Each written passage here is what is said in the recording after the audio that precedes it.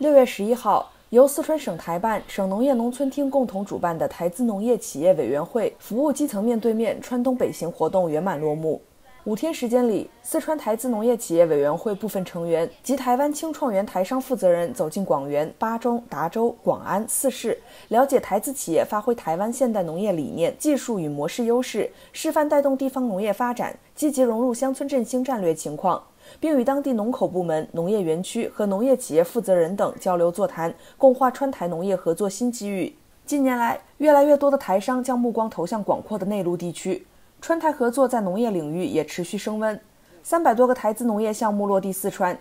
其中川台农业合作示范基地台资企业山立农业开发有限公司就扎根在广元市苍溪县，从事高品质台湾黄花菜种植、加工和销售。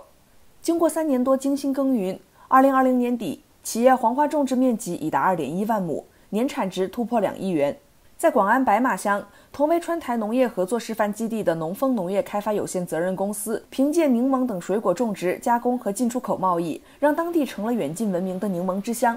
二零二一年三月，该公司成为四川首个入选粤港澳大湾区菜篮子生产基地的台资农业企业。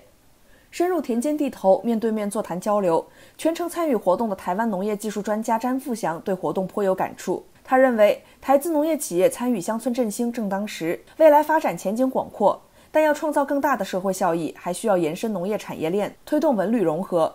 简单的说，就是我们经常讲的一二三产业。他们现在在目前在落地以后，在种养这一块的一产没有问题，已经做得很实，在技术上都一一直不断的突破精进，能够把这样的一个效益，我讲这个综合效益再提高，把这个格局再拉大一点。我们现在就要就要扩大延伸这个产业链的价值，带来更大的社会效益，让更多的人来来看到哦这个整个社会的这个经济蓬勃的发展。四川台资农业企业委员会主任委员李义阳在走访中发现，小而美、小而精的台资农业企业在四川的增长态势良好。他认为，四川东北部和台湾有着相似的地形地貌，山区农业也是台湾的强项。在四川发展精细农业，不失为一种优质选择。其实我们四川属于丘陵地带，应该是要以小而精、小而美，然后做精品为主。因为我们不是大平原，我们没办法大型的农业自动机械自动化，我们只能用小型农机。所以目前我们一直在跟整个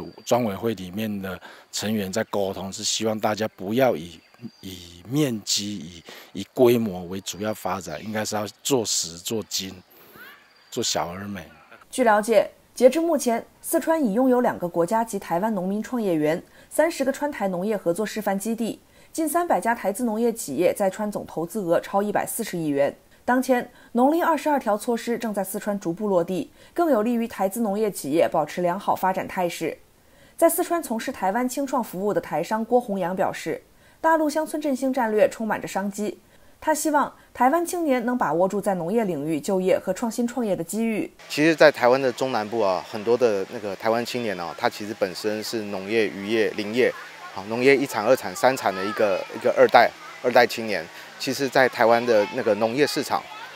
规模比较小，市场比较小。其实很多的一个台湾青年呢，其实把自己的家乡的技术，对啊，家里的技术带过来大陆发展的话，其实是一个很大的一个商机的发展。台湾青年现在过来搭上这个乡村振兴这班列车，其实对台湾青年来讲是一个很好的发展机会。